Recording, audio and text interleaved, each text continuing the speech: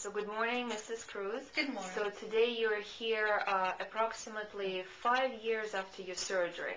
And so when you originally came to me, I actually remember your story very well. You were wearing very big, heavy braces. Yes, for at least four years before I saw you. Okay.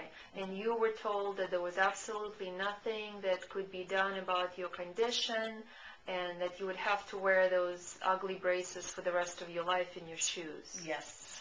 And then I said, oh no, we can do something about it. Yes, yes, yes.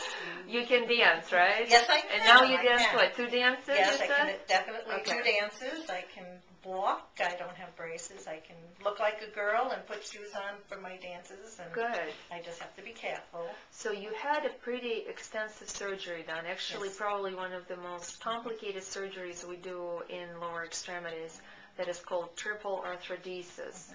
Where we fuse three different joints in your foot and ankle.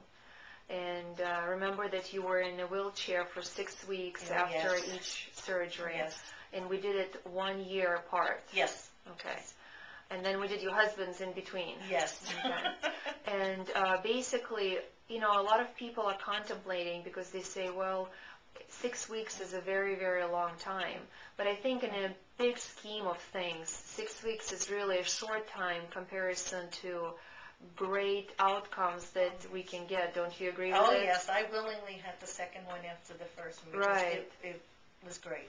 Uh, So for somebody who is thinking whether they should or should not have it done, would you highly recommend this surgery? I certainly would. Okay. Yes, I will. It's a And you would only quality of refer, life. refer them to us, right? Yes, I would. Dr. Wellens is my angel.